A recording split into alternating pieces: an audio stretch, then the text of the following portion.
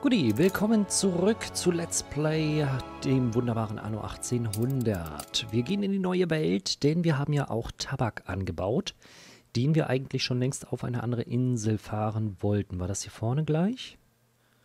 Hola. Warte, machen wir mal anders. Tabak, Tabak, Tabak.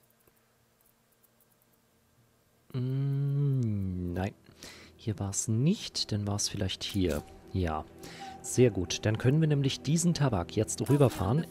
Immer rüber nach Enbesa. Das bedeutet, du bekommst eine eigene Handelsroute und wirst, wirst dann von der von Enbesa, nee Quatsch, von hier aus, da Tabak einladen. Gerne zweimal, wenn nicht sogar dreimal.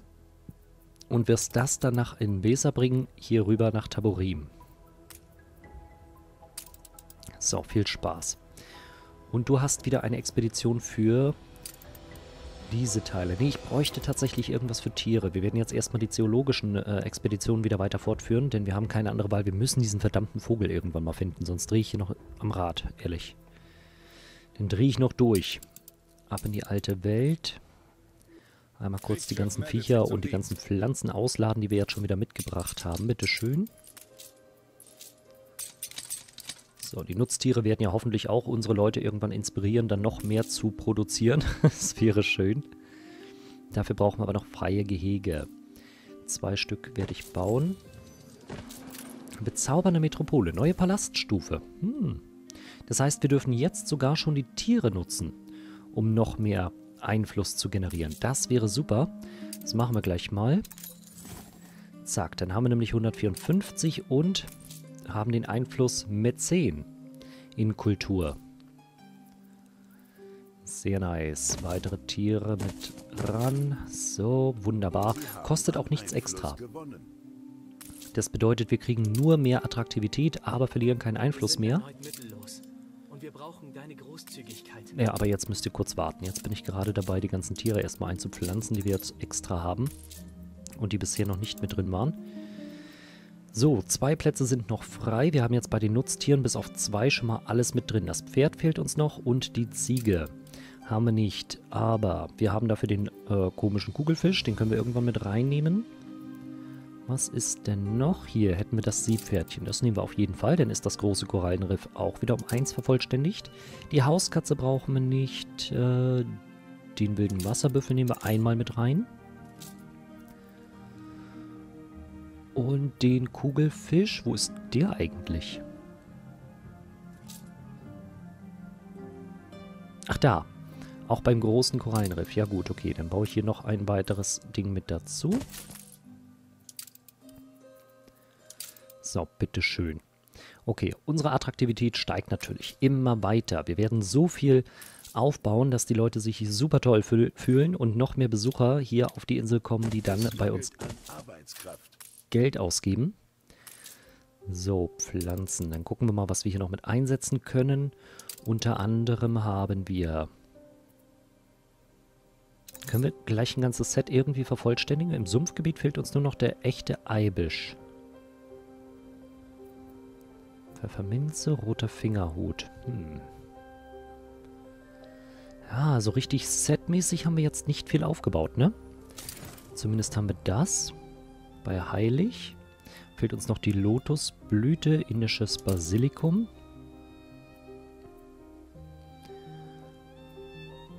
Champaka kommt da auch mit rein. Ja, dann brauchen wir noch weitere Module. Geht gar nicht anders. Jetzt geht auch wieder Einfluss flöten, dadurch, dass wir so viel schon aufgebaut haben. Gut, Ackerwinde.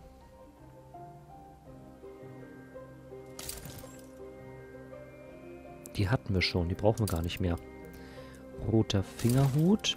Das wäre das erste Mal bei Highland, okay. Da hatten wir auch den Löwenzahn. Wo ist der eigentlich? Hatten wir den nicht gekauft? Pfefferminze kommt auf jeden Fall dazu. Dann brauchen wir noch den Löwenzahn. Hat irgendjemand von euch den Löwenzahn dabei? Nö. Du? Nö. Aber du hast ein anderes Teil. Nämlich Felsengebirgstanne. Dann haben wir wenigstens ein weiteres Set komplett. Es reimt sich sogar und es war. So, zack, zack, zack. Dankeschön.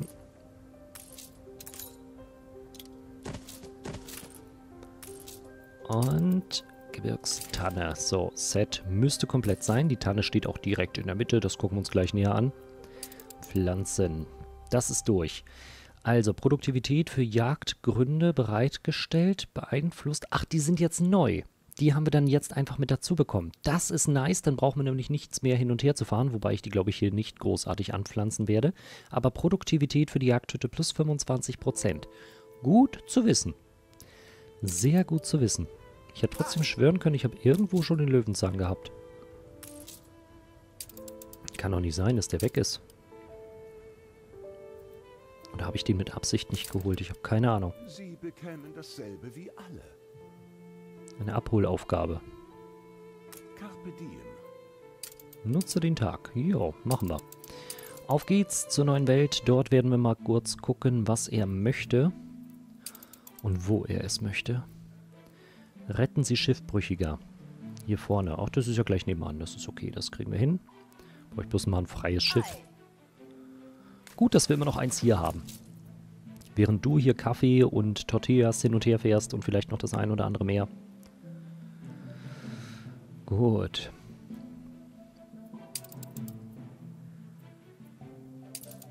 Du fährst schon mal hin, ich gucke hier weiter. Artefakte. Ich weiß gar nicht, ob wir jetzt wieder neue Artefakte hatten. Ich glaube nicht. Nichts Großartiges, deswegen lassen wir das mal noch. Obwohl wir irgendwann die vergessenen Stämme und Enbissas Wurzeln wahrscheinlich vollständig haben werden. Und dann werden wir uns darum kümmern, das dann auch mit aufzubauen. Aber jetzt aktuell bringt es mir nicht so viel. Bei den Pflanzen jedoch, da sind wir überall so kurz davor, so ein bisschen was zu vervollständigen. Egal ob bei Heilig, na gut, Nahost dauert noch ein bisschen, aber Heilend und Sumpfgebiet, das sind sehr gute Dinge. Wir werden schon noch häufiger zusammen Tee trinken, keine Sorge.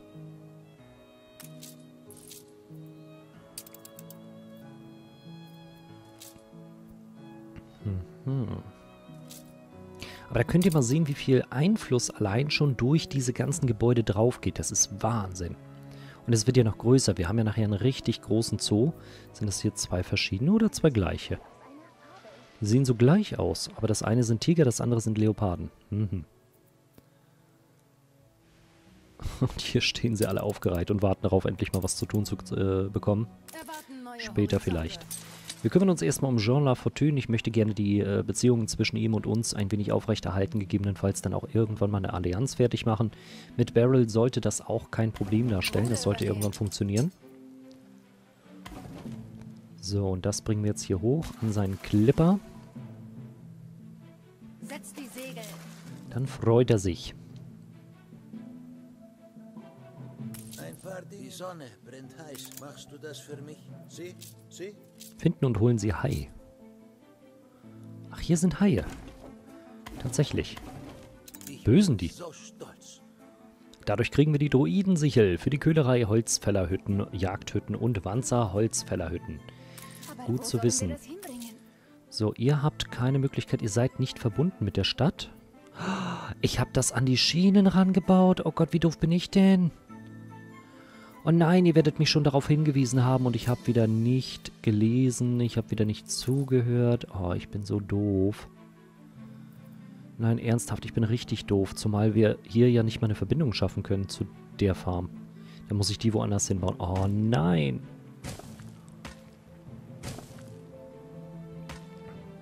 So. Ach, verdammt. Ja. Gute Frage, nächste Frage. Komm, dann bauen wir die Kaffeefarm nochmal woanders mit auf. Jornaleros, nicht Obreros, Kaffee, das. So. Was ist das hier eigentlich? Was sind das hier für Viecher? Sind das Alpakas, Lamas, Esel? Esel! Hallo Esels! Schön euch zu sehen. Es mangelt an Arbeitskraft. Ja, und wenn schon. In Ballacurry, also hier. Ja, weil die jetzt natürlich erst mit einer Straße verbunden sind, werden die auch erst jetzt berechnet. Das ist natürlich doof für uns, aber da müssen wir durch. So, auf geht's. Also, euch einmal ausbauen, bitteschön. Die Hälfte ist schon mal geschafft. Ja. Ihr werdet dann mehr. Ist das Boot schon eingelaufen? Wunderbar. Er ist jetzt zufrieden.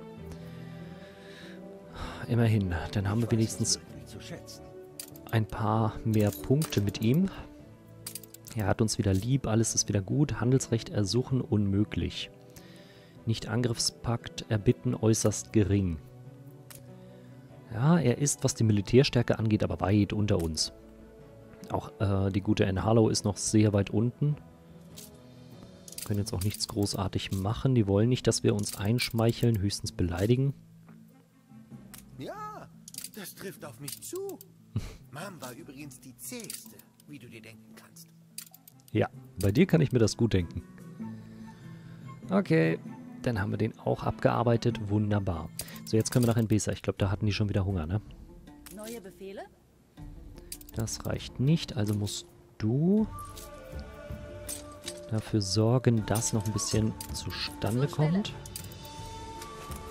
Du kannst schon, schon mal wieder runterfahren. Ach Gott, ey.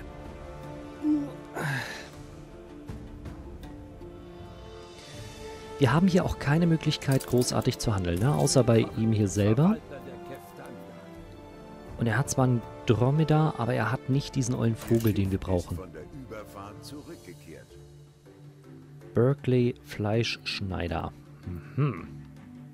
Produktivität für Trockenhäuser plus 40%. Arbeitskraft erforderlich minus 35%. Schlecht ist er nicht.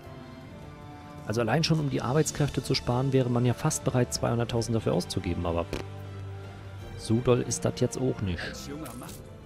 Du stehst immer noch hier rum, du weißt nicht, was du tun sollst. Ja, du hast ja auch keine Insel mehr, die du versorgen kannst, außer deine paar Hansel, die hier irgendwo rumstehen. Gott sei Dank.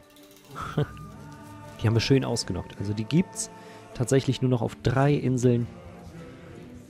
Und wir könnten auch den Rest von ihr irgendwann aufkaufen. Dennis Ruhe. So teuer dürfte es nicht werden. Ich werde die alte Lani vermissen. Wir stehen in deiner Schuld. Was willst du? Fotografiere Hirte mit Ziege. Einige reden davon, die Insel zu verlassen, bevor es außer Sand nichts mehr zu essen gibt. So, bitteschön. Ein Foto wurde aufgenommen. Was kriege ich dafür? Ich will was Schönes. Das hilft uns sehr. Liebevoller Viehhirte, ja, das ist aber lieb. Ich will keinen liebevollen Viehhirten, der kann meinetwegen die Viecher knuddeln, knutschen, wie auch immer, das ist mir sowas von egal. Ich möchte endlich diesen verdammten Vogel, damit ich die Aufgabe in Bahadesha abschließen kann.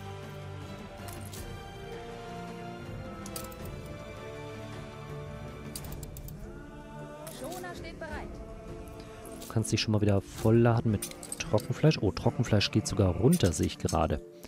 Aber das liegt vielleicht daran, dass ich das gerade rausgenommen habe. Du fährst schon mal mit hoch. Du bist noch auf dem Weg. Das ist okay. Wir haben, glaube ich, auch hier noch Waren mit drin. Die können wir dann das nächste Mal mitnehmen. Zumindest Hibiskus-Tee. Der ist jetzt wieder ausreichend vorhanden. Auch in dieser Stadt. Das freut mich sehr. Dann sind die Leute wenigstens gut drauf. Das sind die wahren Reichtümer. Na gut, mehr oder weniger. Also wir werden Trockenfleisch wahrscheinlich noch mal mehr anpflanzen müssen. Wir brauchen dann noch mehr Rinder. Und dann hatten wir hier vor, auch die Pfeifen fertigzustellen. Denn immerhin haben wir so viel Lehm, der jetzt nicht mehr zu Lehmziegeln verarbeitet wird. Den könnten wir dann nutzen, um die Tonpfeifen zu erstellen.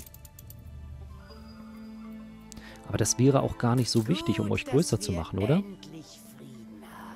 Ihr wollt ja eher die Chroniken, um die könnten wir uns auch nochmal irgendwann kümmern. Im, Im Moment haben wir ja wenigstens noch ein bisschen mehr Einfluss, könnten tatsächlich auch die Zeitungen beeinflussen, wäre überhaupt kein Problem. Was war das hier? das. Die Lehmschöpferei. Ja, theoretisch könnten wir dann auch die Handelsroute hier runterbringen und dann können die meinetwegen auch die Lehmdinger fertig machen, aber wir haben hier nicht so viele Leute, deswegen will ich mich hier hauptsächlich um Papier kümmern und Indigo gibt es hier ja auch.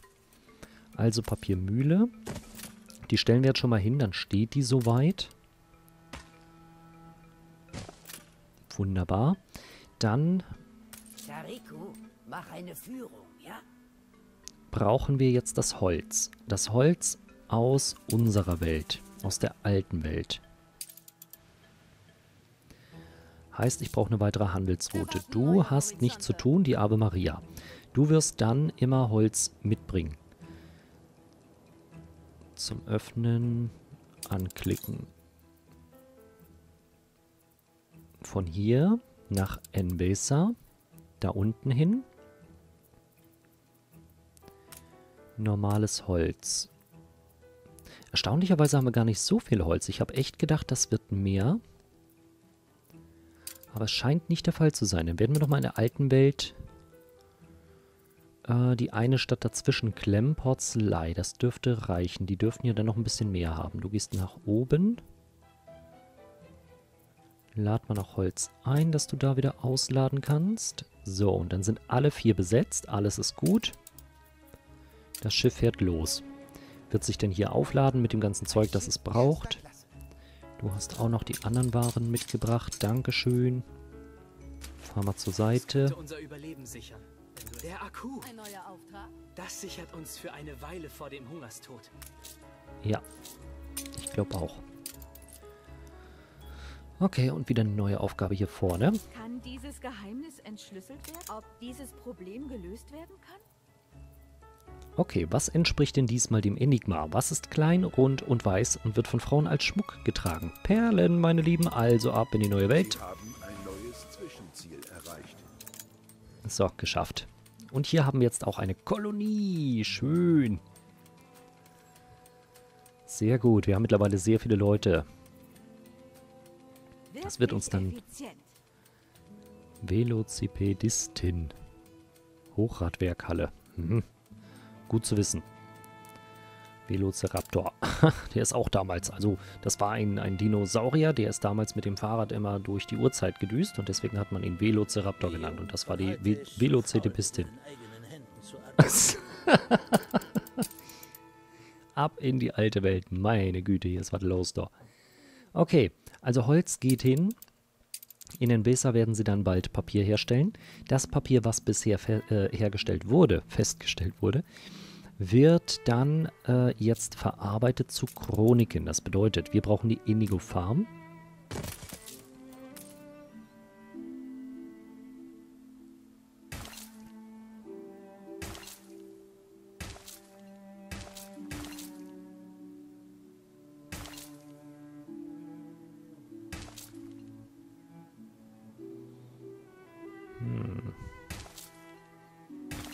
Aufhören, so viel Farmland zu wollen? Danke.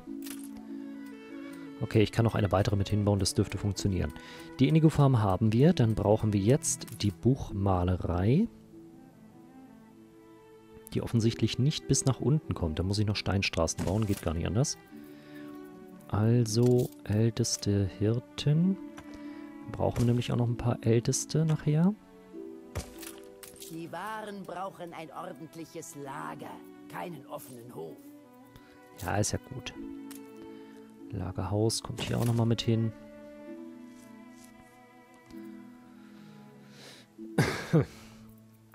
Okay. Hier ist schon wieder ein Auftrag. Was habt ihr denn nu? Woran es uns auch mangelt. Wie soll man die Herrlichkeit... Die Sache liegt jetzt in ihren Händen. Was willst du, Gold? 40 Tonnen Goldbarren. Ja, du hast ja wohl nicht alle. ha, nee. Mach ich nicht. Ähm, wo waren wir stehen geblieben? Also erstmal das eine Schiff. Hat ja soweit alles abgeladen, wird dann wieder zurückfahren.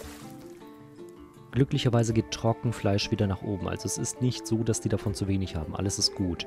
Wollt ihr eigentlich schon die Chroniken oder bastel ich die jetzt ganz umsonst? Nein, ihr wollt sie noch nicht. Und Trockenfleisch müsste ich dann auch noch mehr wieder mit ranbringen. Hier unten wird auch welches produziert. Das heißt, theoretisch kann ich diesem Schiff sagen, oder auch nicht, weil es einfach zu wenig Warenlagerplatz hat. Ach verdammt. Du hast auch noch Trockenfleisch dabei, ne? Das ist es aber schön, ist das. Theoretisch könnten wir auch hier noch ein bisschen was produzieren. Dann könnten die wenigstens das, was sie haben, selber verbrauchen. Andererseits haben wir hier noch so viele Möglichkeiten. Komm, wir nehmen einen der Schoner, packen das jetzt aus und werden dann sagen, dass der Trockenfleisch hochbringen soll in diese Stadt, denn die ist mir wichtig. Die soll auf jeden Fall erblühen. Und dadurch, dass die sowieso äh, produzieren, wird ja das, was in der anderen Stadt produziert wird, nicht komplett verbraucht. Das ist okay.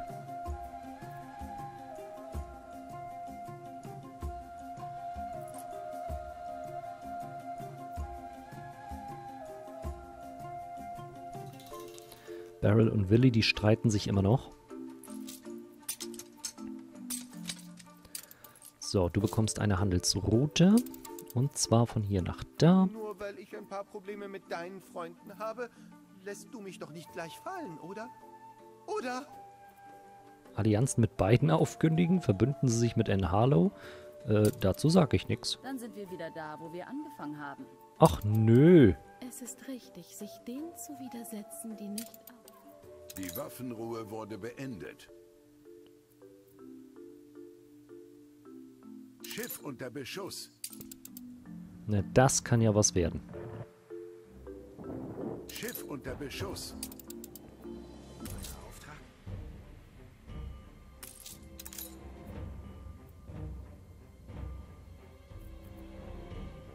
Voraussetzungen für irgendeine Aufgabe sind nicht mehr erfüllt. Pass auf, da müssen wir Diplomatie, sie zumindest zu einem Waffenstillstand zwingen. Heute ist kein guter Tag, um zu sterben. Nein, wir brauchen, wir brauchen keinen, keinen Krieg, wirklich nicht. Also dann machen wir zumindest Hast du denn Frieden. alles vergessen, was ich dich gelehrt Schiff unter Beschuss. Aber dass wir eine Allianz machen, ist halt nicht mit drin. Das werden wir nicht schaffen. Schiff unter Beschuss. Dafür hat Willy einfach zu viele Feinde. Schiff unter Beschuss. Ist gut jetzt, ja? Schiff unter Beschuss.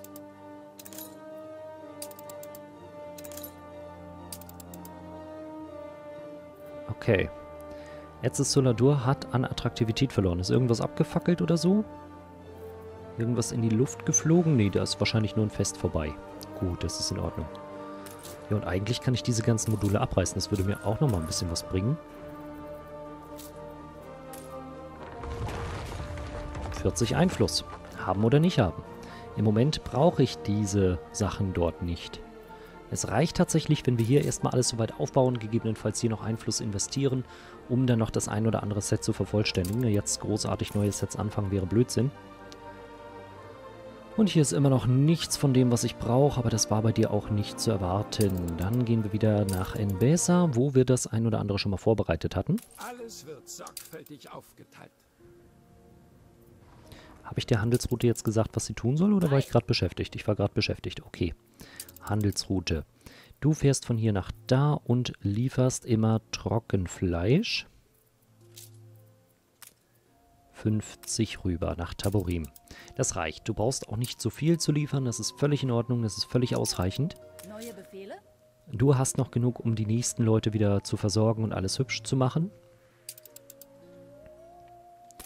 Ihr seid ein bisschen ausgenudelt, habt ein bisschen viel zu tun, aber das wird sich wieder legen.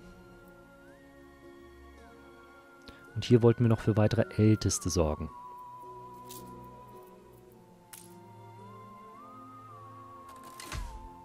Gut, reicht. das war's. Mehr kriegt ihr nicht. Und dann können wir hier nämlich auch die Ältesten größer werden lassen, ohne dass uns irgendwas fehlt. Sie haben Großer Stadtteil. Jetzt wollen sie auch die Chroniken haben, ein Krankenhaus und Brillen. Ja, Brillen werdet ihr so schnell nicht bekommen, aber ich glaube, die braucht ihr zum Größerwerden? Nein, ihr braucht später nur die Laternen. Jetzt braucht ihr erst die Chroniken. Ach, guck mal, älteste Forschungspunkte plus eins, wenn sie Chroniken haben. Das ist natürlich nicht schlecht. Dankeschön, das finde ich gut. Das heißt, wir bauen automatisch Forschungspunkte auf, nur weil wir ihnen Bücher geben. Cool. Ich sehe, dass ihr ein Abo dalasst. Und ein Like. Und ihr schaut das nächste Video.